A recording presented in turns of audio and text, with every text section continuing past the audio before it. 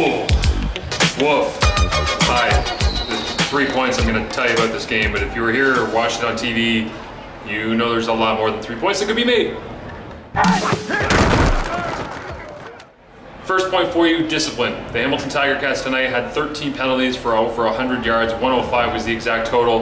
A lot of them came in spots where they didn't really need to take penalties. There was three or four in a row where they actually took them, and it was just kind of you know jumping offside, down by the goal line, saving themselves some room with their heels up against the goal line. But they still took them. They still had some issues, and our point number two in this three-point conversion has to deal with some of the bad penalties they took. that were kind of unreasonable, unreasonable to be able to deal with.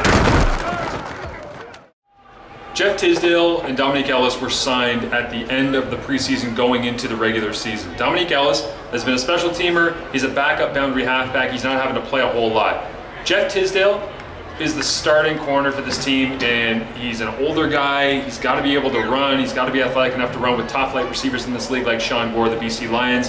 And tonight was the worst night he's had in quite some time in a CFL uniform based on what I've seen. He took two unnecessary roughness penalties. One was a face mask, the other was a horse collar tackle. The horse collar tackle actually came on a play where he got beat over the top by Shawn Gore. It's not easy to be able to see a guy like that trying to run next to Shawn Gore and think, yeah, he can lock down everybody in this league. It's what they have at this point, though. They had so many injuries. Demond Washington was supposed to play that cornerback position. You were supposed to have guys over the last three years that could fill in for Delvin Breaux at that spot, and they just haven't been able to. Delvin Breaux was here at the game tonight, and it really did make you realize that might be a big void in this defense. And I mean, does it change the way that Courtney Stephen looks at his responsibilities? If he knows that his corner can't necessarily stay back, regardless of what the coverage is, especially cover zero where they're all manned up, maybe Courtney Stephen starts to cheat a lot. That kind of pulls and tugs on your defense in different ways that don't usually turn out in positives. We'll see what happens moving forward, but a rough night for Jeff Tisdale.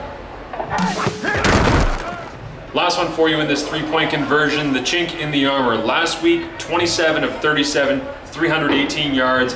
Hadn't thrown an interception, had two, three touchdowns, had a great preseason, had an amazing playoff run for the Tiger Cats. Jeremiah Masoli struggled tonight, and everybody saw it. It was not pretty to be able to watch. It looked like he wasn't really setting his feet that well in the pocket. He was constantly looking down at where he could possibly scramble out to instead of keeping his eyes downfield.